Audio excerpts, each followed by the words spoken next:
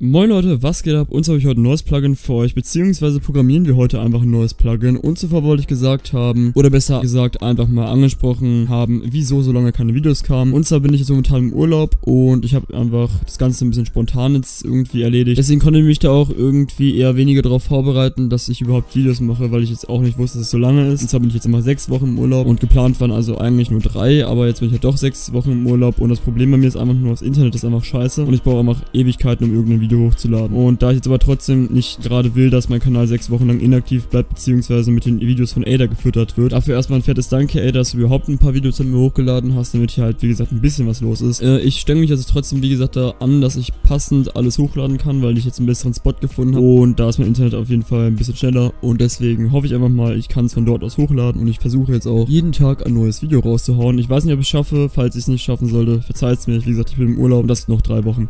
So, auf jeden Fall programmieren wir heute ein Plugin und zwar ein Auto-Messages-Plugin und wie das Ganze funktioniert, zeige ich euch jetzt direkt. Und so möchte ich erstmal ein Plugin haben, welches mir mündlich immer eine Message ausgibt und die Message sollte immer verschieden sein. Das heißt, wir haben hier eine Anzahl von verschiedenen Messages und die soll halt in äh, verschiedenen Zeitintervallen immer wieder neu äh, gesendet werden. So und halt auch immer verschieden. Und deswegen würde ich sagen, fangen wir erstmal damit an und zwar brauchen wir erstmal zwei Variablen. Das heißt, wir sagen private int und dann sagen wir jetzt hier erstmal ähm, für ein runnable, das heißt, wir sagen einfach task und wir brauchen ein private int und dann anschließend den Broadcast Number, also BC Number.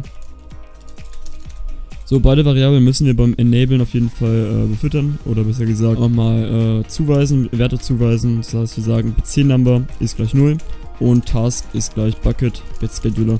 Schedule Async Repeating Task. Wieso ist das Ganze asynchron? Äh, Messages, sprich Packets, welche hinter der Methode Bucket.broadcast decken, lassen sich asynchron ausführen und asynchron sagt einfach das, dass es halt nicht im Main Thread läuft, das heißt, dass es halt nebenan läuft. Beziehungsweise für einen asynchronen Task wird halt immer ein neuer Thread erstellt, welcher jetzt halt nicht wirklich in irgendeiner Form äh, ressourcenlastig ist. Das heißt, wenn zum Beispiel jetzt gerade der Server am Laggen ist, wird dieser Countdown hier auf jeden Fall nicht verursachen, dass durch irgendwas hier äh, irgendwas laggen wird. Inwief äh, insofern, dass wir das Ganze halt, wie gesagt, asynchron gemacht haben. Wenn wir das Ganze synchron gemacht hätten, dann würde diese ganze Sache hier wirklich immer, immer, immer, egal ob es laggt oder nicht, immer ausgeführt werden. Und wenn es asynchron ist und der Server gerade extrem am laggen ist, kann es auch mal sein, dass dieser Countdown einfach mal ein wenig verzögert kommt. Aber das ist in dem Fall scheißegal, das juckt uns nicht.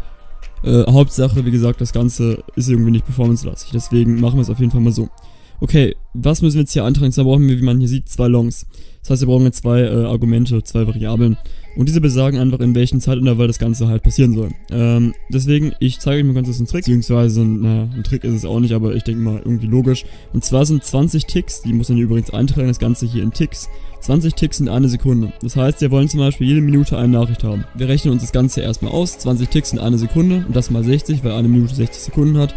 Und sehen wir schon 1200, beziehungsweise 1200 Ticks in dem Fall. So, das schreiben wir uns erstmal auf, ist gleich eine Minute. So, und jetzt können wir hier eigentlich das Ganze eintragen. Allerdings will ich das Ganze zu Vorführzwecken erst nicht mit 1000 Ticks machen, sondern erst mit 20, damit man halt sekündlich sieht, ob das Ganze funktioniert. Und das einfach, wie gesagt, bei beiden Argumentfeldern angeben und dann passt die ganze Sache schon. So, jetzt haben wir das Problemchen, beziehungsweise das Problemchen. Jetzt müssen wir halt eine Methode entwickeln, wo halt die Messages immer durchgespielt werden und halt wo irgendwas passieren soll. Deswegen erstellen wir uns eine neue Methode, damit wir halt nicht alles in den Enable-Block packen müssen, weshalb wir jetzt sagen private void start oder besser gesagt können wir die Methode einfach so benennen, wie wir wollen. Ich nenne sie jetzt einfach mal doch Counter. Dann sagen wir jetzt hier jede Sekunde Counter. Und so sagen wir jetzt hier jede Sekunde, dass einmal die Methode Private Void Counter ausgeführt werden soll. In dieser Methode packen wir jetzt hier ein paar Sachen rein. In erster Linie müssen wir uns wirklich darüber klar werden, wie wir das Ganze, beziehungsweise welche Messages wir überhaupt da drin haben wollen. Das heißt, wir haben irgendwie schon eine grobe Anzahl, viele Messages wir brauchen. Das heißt, ich will zum Beispiel 5 Messages reinpacken. Und deswegen fragen wir erstmal ab, if bc Number gleich gleich 5. Dann sagen wir BC Number ist gleich 0. Und dann BC Number plus plus. So, das ist im Grunde genommen der ganz normale Durchlauf. Äh, das heißt, wenn BC äh, Number 5 erreicht, wird es auf 0, äh, 0 gesetzt und anschließend wieder plus plus gerechnet. So, das ist einfach deswegen da, damit erstens der Integer nicht höher als 5 geht und dass es halt immer wieder zurückgesetzt wird, damit die Messages sich halt immer wiederholen können. So, deswegen sagen wir jetzt hier erstmal, oder wir haben es besser gesagt, hier alles und jetzt benutzen wir dafür einfach mal einen Switch Case. Wir können dafür auch eine If-Else-Abfrage machen, aber ich finde dann einen Switch Case deutlich besser. Und zwar switchen wir in dem, äh, in dem Fall die BC-Number und dann können wir jetzt hier verschiedene Fälle einbauen. Das heißt, falls der Fall 1 ein, äh, eintritt, okay, natürlich andersrum so, falls Fall 1 eintritt, dann sagen wir zum Beispiel Bucket.BroadcastMessage. Das ist die erste Message und dann Break, damit wir einfach das Ganze abbrechen. Der Switch Case ist das Ganze so ähnlich wie in der Vorschleife. Und zwar, wenn wir es breaken, dann beenden wir das Ganze, ansonsten würde es halt immer weiterlaufen mit dem Begriff Break. Und somit können wir das Ganze hier so weiterführen, wie wir es wollen. Natürlich hier ebenfalls der Break. Und so machen wir es auch noch bis zum äh, fünften Case. Also bis zum fünften Fall und ich würde sagen, bis dahin cut ich es erstmal. So, und so haben wir jetzt hier unsere Messages einfach eingebaut und jetzt können wir das Ganze auch wie gesagt schon mal austesten. Das heißt, wir gehen jetzt erstmal kurz in unseren Server und schauen, ob das Ganze soweit funktioniert. Dafür wie gesagt, erstmal die Plugin-URL erstellen, also eintragen und dann anschließend exportieren. Aber was mir jetzt gerade noch einfällt, ist, dass wir vielleicht noch eine weitere Methode brauchen. Und so brauchen wir die OnDisable-Methode, damit wir wieder den Task beenden können. Das heißt jetzt ein Bucket.getScheduler Cancel Task Task. So, und dann ist die Scheduler auch beendet, da asynchrone Scheduler die Eigenschaft haben, auch über einen Reload hinweg zu äh, arbeiten, cancel ich diesen Task einfach und dann läuft die halt nicht weiter. Das heißt im Grunde genommen, wenn ihr eine asynchrone Scheduler habt, die wird sich definitiv nicht stoppen, wenn ihr den Server reloadet. Ist einfach so und damit müssen wir einfach leben. Deswegen äh, werde ich den Task hier einfach killen und somit geht das Ganze. Jetzt exportieren wir das Plugin und testen das Ganze mal auf unserem Server. So, jetzt ist hier auch schon unser Server am Laden und wir gucken einfach mal, ob das Ganze geklappt hat. Wir sehen jetzt hier schon, das ist die erste Message, zweite, dritte, vierte und die fünfte und es geht ja wieder zum ersten. Das heißt, unser Switch Case geht wie gesagt durch jede einzelne, äh, durch jeden einzelnen Fall. In dem Fall rechnet er hier immer plus plus und switcht den Number anschließend und dann rechnet er den Fall von dem aus und geht dann anschließend zu dem Fall. Deswegen funktioniert das Ganze so, ihr könnt natürlich alle eure Messages reinpacken, die ihr wollt. Und ihr könnt das Ganze natürlich so weit äh, machen, wie ihr es halt auch wirklich braucht. Das heißt, ihr könnt für mir aus 10 Fälle reinmachen, 100 Fälle, Millionen Fälle, wie auch immer.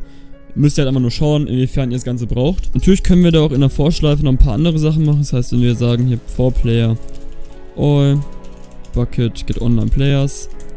So, können wir jetzt hier zum Beispiel auch noch sagen All.PlaySound, All Get Location, keine Ahnung, Sound.level up und dann mit dem Parameter 1.1. Und dann würde man jetzt zum Beispiel auch noch beim Case 1 immer einen Sound hören, wenn das jetzt zum Beispiel kommt. In der Vorschleife kann er, wie gesagt, ziemlich viele Sachen machen. Man kann auch Effekte da reinpacken. Also all.play-Effekt beziehungsweise all.set-Game-Mode. Was allerdings ein bisschen bei der äh, asynchronen Sache problematisch wäre mit dem Game-Mode, weil das nämlich nicht funktioniert. Aber im Grunde genommen können wir, wie gesagt, ziemlich viele Sachen machen, welche noch dazu möglich sind. Weil es gibt, wie gesagt, ziemlich viele Auto-Messenger-Plugins, wo man halt nicht viel machen kann. Und da es ziemlich einfach zu programmieren ist, ähm, denke ich mal, es ist auch sinnvoll, das Ganze wirklich selbst zu programmieren, wenn man das Ganze braucht. Und falls ihr vielleicht Bock habt, dass ich das Ganze mal für Bungee-Code mache, das heißt, dass man das Ganze auf dem Bungee-Code sieht, wie das funktioniert, kann ich das natürlich sehr gerne auch machen. Einfach mal dafür in die Kommentare schreiben. Und somit hoffe ich mal, ich wäre soweit durch damit. Und falls noch irgendwelche weiteren Fragen aufkommen sollten, könnt ihr diese natürlich gerne in die Kommentare stellen. Und somit wünsche ich euch noch einen schönen Tag, Leute. Man sieht sich. Bis dann und ciao.